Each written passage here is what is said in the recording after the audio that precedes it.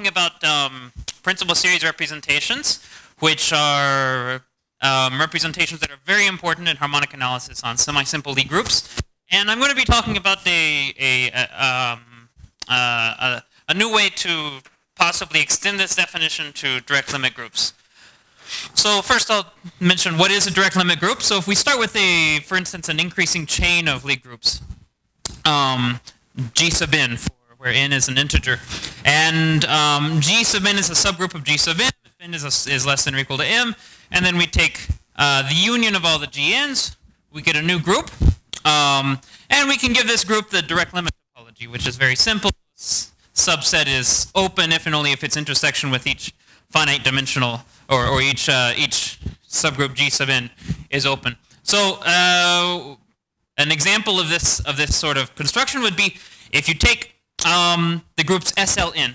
Well, SLN is always a subgroup of SLN plus 1, and one way of embedding SLN as a subgroup of SLN plus 1 is to take when your, your n by n matrix A and construct an n plus 1 by n plus 1 matrix where you stick A up here in the upper left-hand corner, a 1 down here in the lower right-hand corner, and zeros here and here. Okay, um, and then and then you can take the direct limit of these groups, and you get a an infinite dimensional group called SL infinity. And you can do this same trick with basically any of the classical linear groups. So there is a group SO infinity, SU infinity, etc., etc.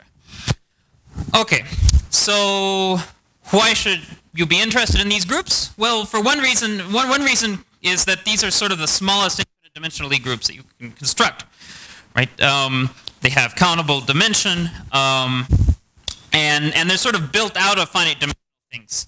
So uh, they sort of um, inherit a lot of properties of finite dimensional groups, and they are they just sort of just begin to show the pathologies of infinite dimensional groups. There's there's sort of this in between case in some sense. I I, I have this sense that they should somehow be useful in, in physical applications for modeling systems with infinitely many degrees of freedom. Um, of course, one problem with any infinite dimensional Lie group is that there's no Haar measure, right? Because Haar measures exist if and only if you have a locally compact group, and infinite dimensional groups are not locally compact. So they can't have Haar measures, they never do. Uh, so if you want to do, you can always consider representations of these groups because they're topological groups, and you can consider unitary representations of any topological group. It's a question you can ask. But the basic questions for harmonic analysis, you sort of can't ask in the same way because you don't have a Haar measure. So you need a, a, a correct context for, for that. Um, and um, so, so, so one thing you might hope is that uh, maybe if you could come up with the correct context for harmonic analysis, then maybe you'd get some representations that would be analogous to the representations that show up in harmonic analysis for the corresponding finite dimensional Lie groups. So in the case of semi-simple Lie groups, you'd hope for things like uh, principal series representations. Well, complementary series representations aren't so important for harmonic analysis, but actually uh, um, uh, they were they're, they're, sort of the impetus behind this particular project I'm going to be reporting on today. Um, because we were trying to do um, something called reflection positivity for direct limit groups is how this project got started. And um, without going into the details, you end up with this connection between discrete series representations of certain groups and complementary series representations of other groups. So we wanted to construct complementary series representations um, in, an, in an infinite dimensional context. And I should, I should mention this is uh, joint work with uh, my former advisor, Gestur Olafsson, um, Stéphane Merigon, who has since left mathematics, um, and uh, Sean Taylor. Let's see here. So, so let's re review what uh, what uh, let's review the definition of of uh, of principal series representations in the in the classical finite dimensional context. We're going to restrict ourselves to just the unitary spherical principal series for this talk. So let's go ahead and start with a non-compact semi-simple linear Lie group with uh, without well without compact factors. Um, and we'll pick a parabolic subgroup. It doesn't have to be a minimal parabolic. In fact, for us today, it'll be the maximal parabolic that's most interesting. Um, parabolic subgroups always have this decomposition uh, this Langlands decomposition m times a times n, where a here is an abelian group, n is nilpotent, and uh, and and this group m is chosen in such a way that um, m times a is the centralizer of a. Now, in the case of the minimal parabolic, m is actually uh, um, compact, but for any of the other parabolics, it's no longer it's no longer going to be compact. Okay, so uh, it turns out that G admits everything in G can be written as a product of something in K, something in M, something in H, something in N, and and really I should be I should put little labels on M, A, and N because they depend on the parabolic that I choose. Um, and then I can consider the, the homogeneous space G mod P, which is a flag manifold. And um, because of this decomposition, you can think of G mod P as uh, it's, it's diffeomorphic to this other homogeneous space where, where K is acting, where K is the symmetry group, um, K mod K intersect M. And the diffeomorphism is given by just take anything take anything in G mod P. So here I've written G times P, where G is something in the group G. And then I just send it to K of G, where um, G, the representative in uh, the representative for this element of G mod P, can be written as K of G times M times A times N. And then I just send it to whatever corresponds to K of G over here. Okay, and, um, and this of course gives me a way to transfer the action of G on G mod P to an action of G on this space. Um, so so, so uh, to define the principal series representation, uh, we're going to be inducing representation of P to a representation of G.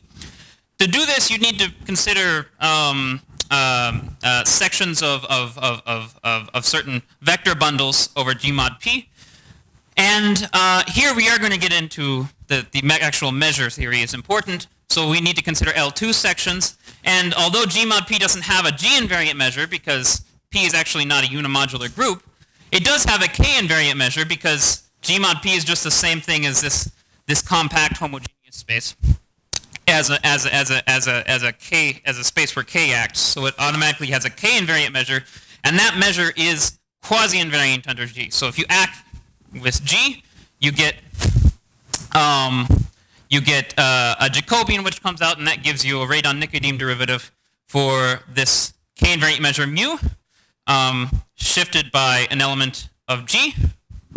So, so that gives you this cocycle, this this function rho, which is a function of of of an element of of G, uh, which acts on G mod P, and then an element of G mod P. Okay, and in fact, you can say exactly what it is in this case. In terms of representation theory data, this rho is actually half the sum of the positive restricted roots, which come from the root system associated with, with this parabolic. Um, okay, so how do you construct the, the unitary spherical principal series representations? So I said that this group A was an abelian Lie group, so you consider its Lie algebra fraktur A, and it's complex the complexification of that Lie algebra. And then lambda is something in the dual vector space, so it's a functional on, on the complexification of A. Um, and then what I'm going to do is define a representation of P by, uh, by separately considering representations of M, A, and N and putting them together. So in this case, I'm going to use a trivial representation of N. I use this weight on the Lie algebra A to define a, a, representation of this abelian Lie group A. So this, this lambda gives me a weight on the Lie algebra of A, which then on the exponential map gives me a representation of the group. And then because I'm interested in the spherical principal series for this talk, um, it, it, uh, among other things that makes things more, uh, more simple, um, I'm going to just start with, I'm just going to consider the trivial representation of M. So you put all these together, and this gives you a, a, the defi definition of a, a one-dimensional representation of, of this parabolic group m times a times n. And again, all I'm really doing is basically uh, uh, taking this weight on a and exponentiating it. Okay. So then I can take this representation and induce it from the parabolic subgroup up to G. And again, since L2 of G, and essentially what's happening here is because I'm starting with the trivial representation of M, the, the vector bundle I get is trivial. So I can think of this as a space of functions. And because I'm using a one-dimensional representation of B, they are, they are uh, functions to, to, to just the complex numbers. So, they, so, so the, the space it acts on is L2 G mod P, which is the same thing as L2 of K mod K intersect M. And uh, it basically, so, so it, it acts, it acts almost like translation, right? You act on a function here almost by translating it. So first of all, what's going on here, this k of g inverse x, is basically saying I act by translation, but if I'm translating by something in g, I need to uh, I need to use the action of g on this space. So that's why I've written k of g inverse x, which is giving giving me the action of g on on this space. Um, then this here is uh, uh, the radon-Nikodym derivative, which I put in so that I can actually uh, get unitary representation. So this is basically taking out the, uh, the effect of that translation has on the measure, right? Because it's only k invariant. So if I were to act by something in k, I would just get f of k inverse x. Um,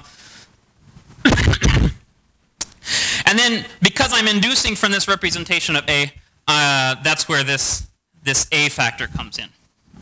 Okay. And, and, and, and given the, the formula that you can write down for rho, you can actually rewrite this as um, in, in terms of a, um, just a power of A, where this is, again, half the sum of the positive roots. Okay. And this is a spherical representation in the sense that it has a k invariant vector, and that's simply because I can consider the constant functions, right? And those are k invariant because k acts just by translation. Okay? also, it's, it's unitary if I put in lambda purely imaginary, because here, um, so this takes out the, the, the, the, the, the effect that translation has on the measure, and here, if I raise this to an imaginary power, well, that's just um, e to an imaginary number up here, and that's, that's not going to, uh, so I get a unitary representation in that case. Sometimes I can put in, in not just a purely imaginary number, but a, but a real number, and I'll get something unitary. And when you can do that, you get essentially a complementary series representation. But I won't get into the details because that's a little bit uh, messy. And and uh, and in general, when you're doing this principal series representation, almost always you get an irreducible representation of G. Okay, so uh, what, what we'd like to do is come up with something similar for infinite dimensional groups, for direct limit groups. Of course, the, the um, one thing you'd think that, that might work is, so it's, it, it's true that if you take a direct limit of irreducible representations, then you wind of, of, of, of, of groups that fit into a direct system, then the direct limit representation is irreducible, right? So one natural way of constructing irreducible principal series representations you might think is, well, let's just take a direct limit of principal series representations. Okay, so there are a couple of problems with that, as we'll see. Or you might say, well, let's just use this induction construction and just induce from a parabolic subgroup up to the big group. Again, one problem with that is that we had to talk about measures. And here, the quotient space, the, flag manifold will be infinite dimensional. Okay, so for the moment, we'll just look at the details for the maximum parabolics for SL and R, because that's the example that we're going to see worked out in detail today. so basically, in general, if you take a, the minimal parabolic subgroup for SLNR, you get the upper triangular matrices. And if you want to consider, so that corresponds to the flag manifold where you have full flags.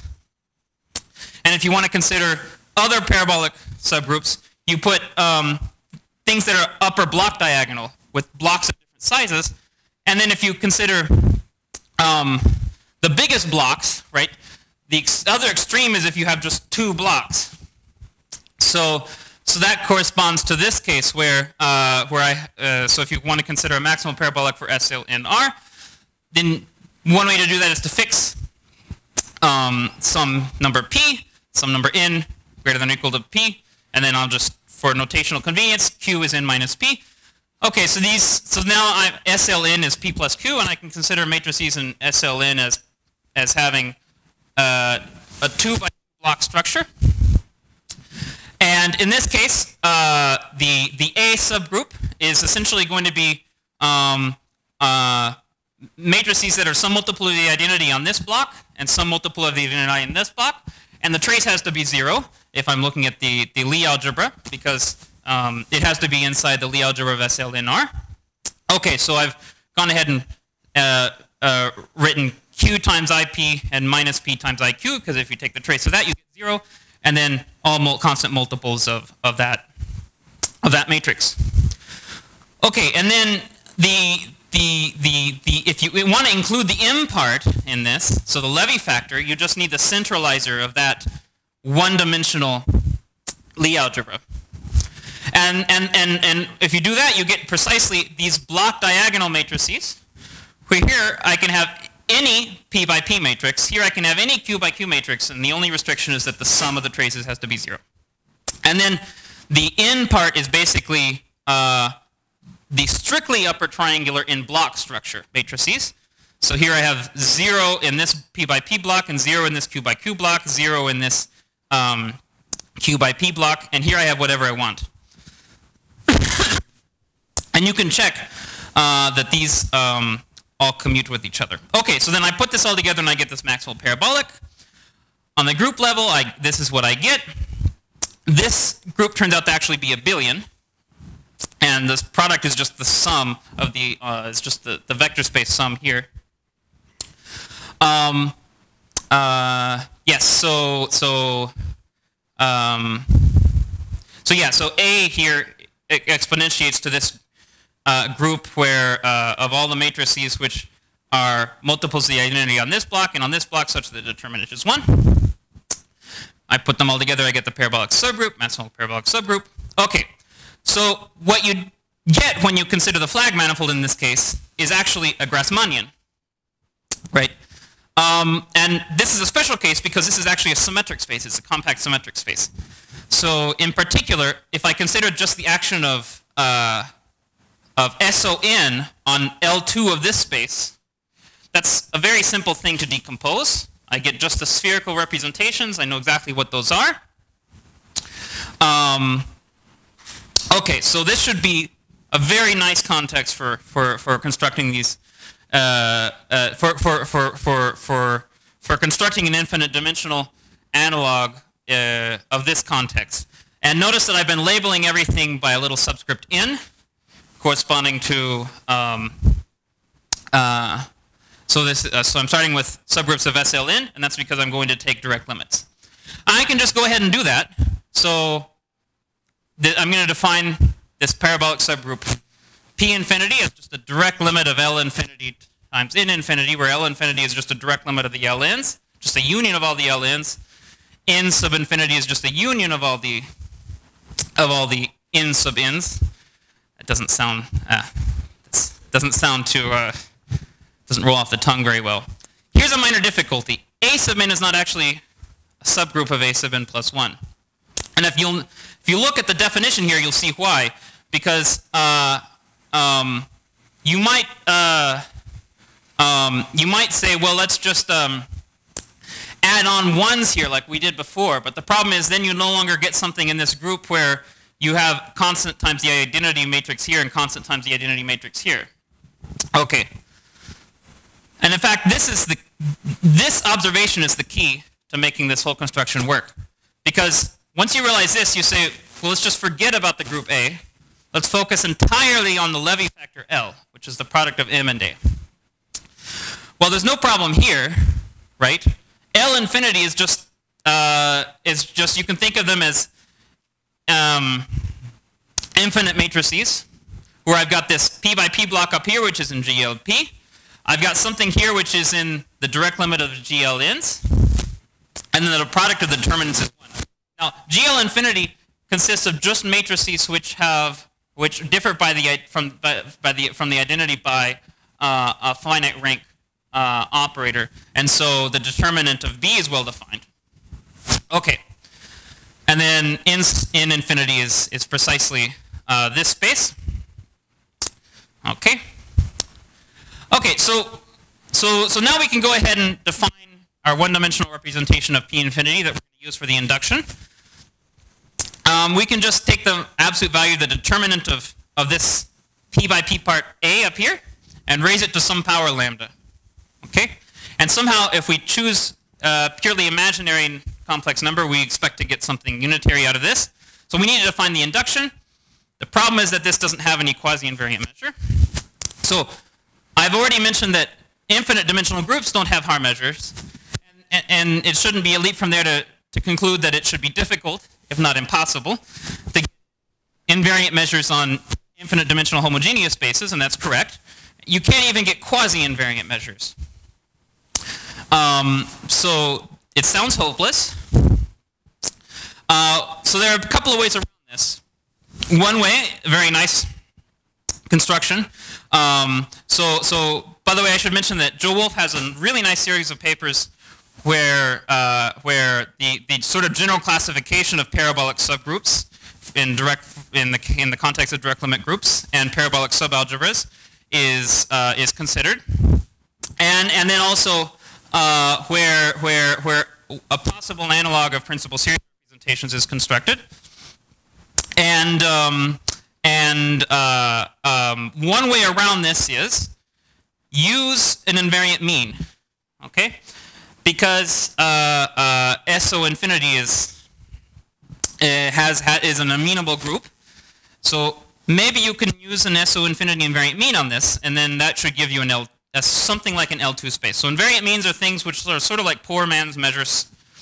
They are, um, uh, instead of being thing elements of the dual of the compactly supported continuous functions, they're elements of the dual of the bounded uniformly continuous functions. The problem is that when they exist, they're not unique. In fact, if a group is amenable, in general, the cardinality of the set of all invariant means is 2 to the 2 to the order of the group.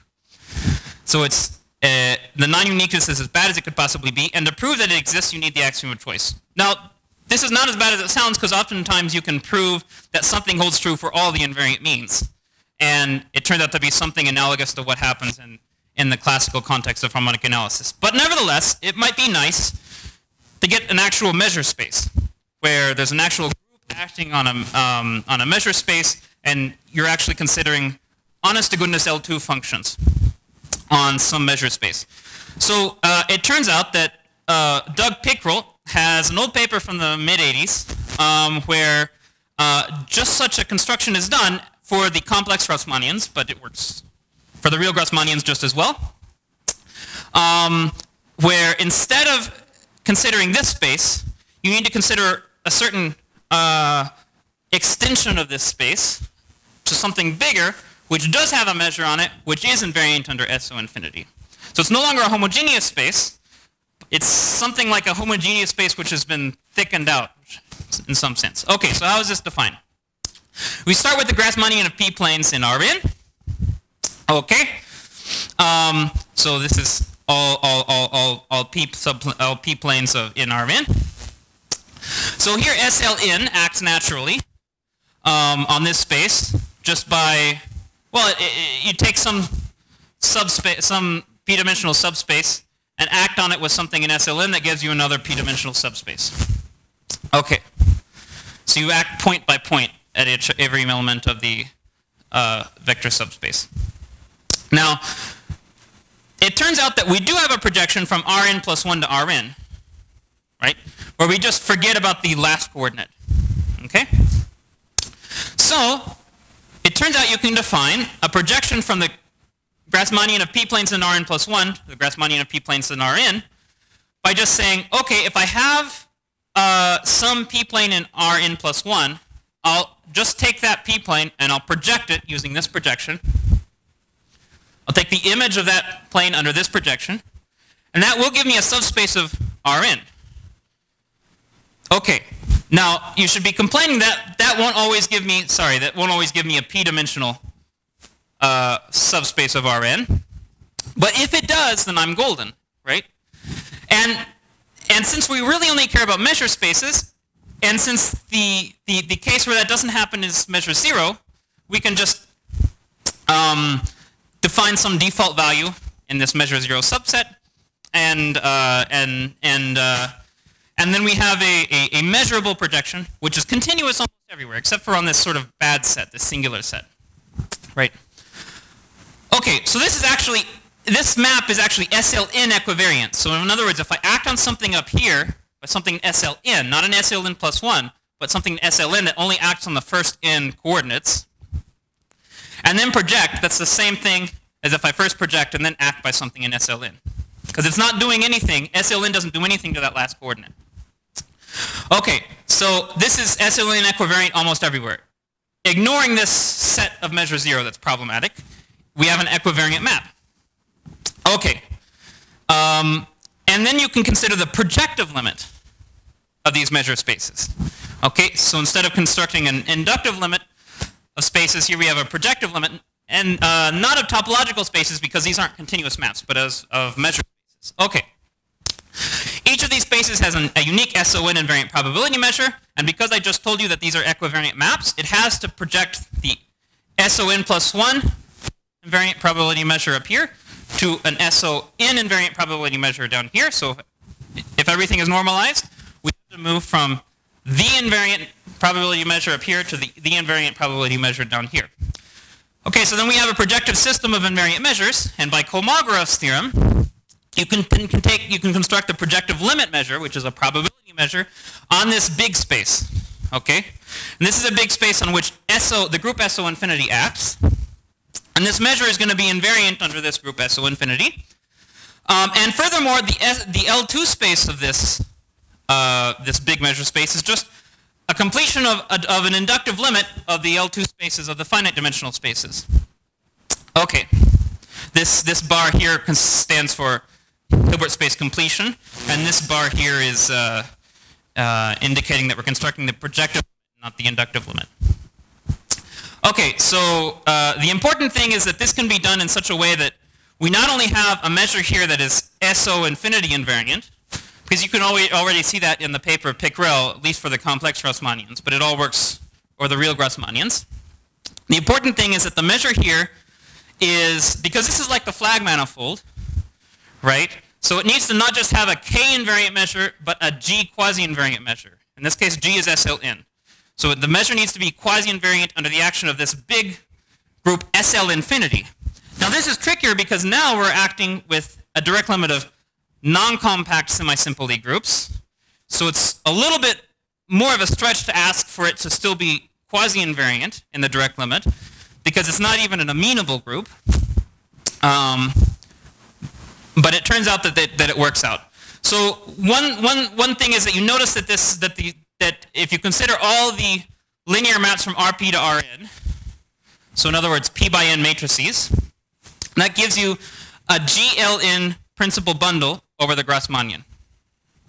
Okay, so uh, so so and the projection is just literally the taking the image of the linear map from Rp to Rn, and that gives you a p-dimensional subspace. Uh, so these are, uh, I should say, sorry, th these are rank p matrices. Sorry, that's I should, that's a typo. I should have said rank P matrices. Um, okay, so this map is uh, equivariant under the action of SL on the left. Um, and then this big space also has an action of GLP on the right. Right? It's a, it's a GLP principal bundle. Okay, the projections, there's, there's, the projections that I just mentioned on the level of Grassmannians are easy to describe on the level of these matrices, I just lop off the lower rows, right? I'm, so in other words, I'm forgetting what, the, what this information tells me about the image on the, on the last coordinate. Okay, so this, is, this projection is easy to write down. So if I start with Lebesgue measure on, um, on, this, on this space, I can construct the Gaussian measure. Um, I can construct a Gaussian measure which is actually invariant under SON. Okay? Um, and I can do this at each level. And I can do this in such a way that, uh, that I have a projective system of measures. on, on MPN. So I do the same trick, and I get in the projective limit of these MPNs another measure which is in, uh, invariant under SO infinity. Okay. And uh, using Kolmogorov's theorem. Um, and here, it's much easier to work out what the, uh, to, to, to, prove the quasi-invariance of SL infinity. I don't think we have time to get into the details. And the reason is because, uh, well, it's, it's just a matter of, of, of, of sitting with this explicit formula and writing out the Radon-Nikodym derivative. You know that on each finite dimensional level it's quasi-invariant, because quasi-invariance just means that, it, that you have a measure which is locally Lebesgue, and that's certainly the case here. Um, and then what you do is you show that the Radon-Nikodym derivatives are cylindrical functions on, on this projective system, which means that, they, that, that, that you get a measure which is quasi-invariant in the limit. Um, so then you can, uh, uh, you can write down explicitly what it is, but, uh, but once you have that, then you can then define a representation by taking this Radon-Nikodym derivative, taking the square root of it, and then, um, so if I put a, a, lambda purely imaginary here, I get a unitary representation. Okay, and that is what I'm saying is a candidate for a unitary spherical principal series representation. The point is that because it turns out that you can show that this is actually a direct limit of spherical representations, because the L2 of this, of this projective limit space is a direct limit of L2 spaces at each level, and because the the Radon-Nikodym derivative of the action of SL infinity is uh, a cylindrical function. That tells you that this has to be irreducible almost everywhere because you're taking a direct limit of irreducible representations. Uh, it's spherical because I can just consider constant functions on, on this uh, projective limit of Grassmannians, right? And so if I act with something in k infinity, which in this case, sorry, is SO infinity, then it stays constant. And it's unitary if I choose something in purely imaginary. Um, something, a similar construction works for the finite rank parabolic subgroups. And it seems like it should work in general for all of those. Um, okay, so what are we working on right now? This is actually still a work in progress. We're working on explicitly describing the k-types of this representation. In principle, it should just be a direct sum of because I because the because we actually have a symmetric space, a direct limit of symmetric spaces here, in the case of the Grassmannians. Um, it should just be a direct sum of all of the spherical representations for this uh, direct limit of symmetric spaces, which we've already classified um, in earlier work. So that should be that's that's the expectation, but um, um, but weird things happen, um, and and uh, similar work on in in another context uh, by, by Olshansky and Borodin went in a completely different direction, where you wound up with uh, um, point processes that correspond to log gas distributions, things that had no correspondent, uh, no equivalent, uh, no equivalent. Um, uh, they they didn't seem to correspond to anything in classical harmonic analysis, but there reason there's reason to suspect that it should be simpler in this case. Uh, again, the impetus behind this was originally trying to construct a complementary series representation, so we'd like to do that. Can you do something similar for minimal parabolic subgroups? This construction seems to be breaking down, but there may be another way to fix it. And one thing that I'm particularly interested in is uh, if you construct an SL infinity quasi-invariant measure on something like a projective limit of these Riemannian symmetric spaces. Okay, so thank you very much for listening. And... And happy birthday to Adolfo. I would, I would sing Las Mañanitas, but I don't want to torture everyone before lunch.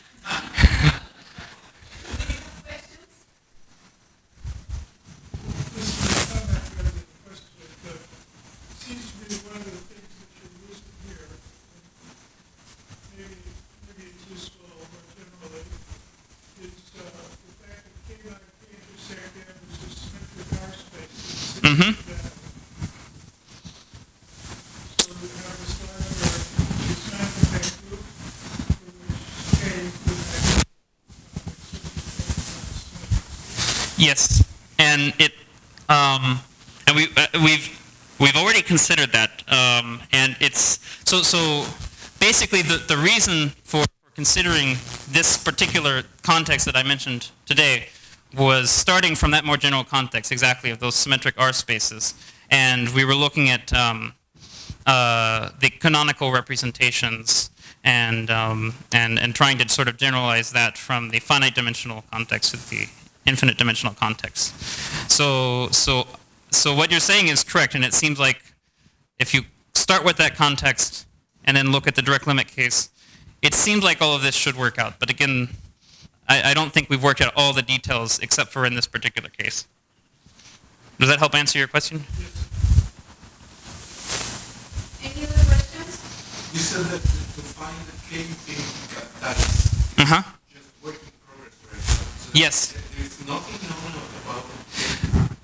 In this particular example, so there are other examples uh, of direct limits of symmetric spaces where, so Borodin and Olshansky, for instance, considered the groups U of n.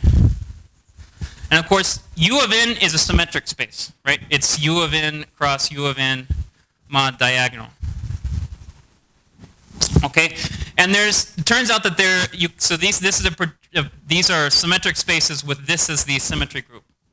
It turns out that there's a way to construct a projection from un plus 1 to un almost everywhere, which is continuous almost everywhere, exactly in the same sense that we just discussed here for the Grassmannians, where it's actually equivariant. Um, this map is equivariant under the action of un cross un, un on the left and un on the right. Okay, then you, you, you, you put Haar measures on each of these, consider the projective limit, you get something in the projective limit, which is you get a measure on the projective limit of these, which is invariant under the action of u infinity. And uh, this is uh, this this ended up being a, a series of two or three long papers with lots of details by uh, Olshansky and Borodin, where they worked out all the details of the, de- the decomposition of that representation. They called it harmonic analysis on the infinite dimensional unitary group because it's it's in some sense an analog of decomposing the biregular representation of un. And it turns out that it's very difficult. At each level, you know exactly what the representations are, right? By Peter Weyl and highest weight theory. And what you essentially need to do is look at the, the, the combinatorial data of each representation up here gets sent to a UN representation up here, but it's sort of split among among different UN plus one representations, and you sort of need to know what's the inner product, in some sense, among each of the components up here, and then look at asymptotics of this combinatorial data, and you wind up considering, uh, you wind up with, uh, uh, there's lots of probability theory, and actually point processes come into play, and this is where this uh, log gas distribution I was mentioning came up. But there's, so this is the only case that I know of in the literature where the details have been worked out. Um, in this case, I can't find it. Somebody once told me that Olshansky and all them know the answer and worked it out, but it's nowhere in the literature. And, um, and so, uh, but there's reason to hope that it should be simpler in that case.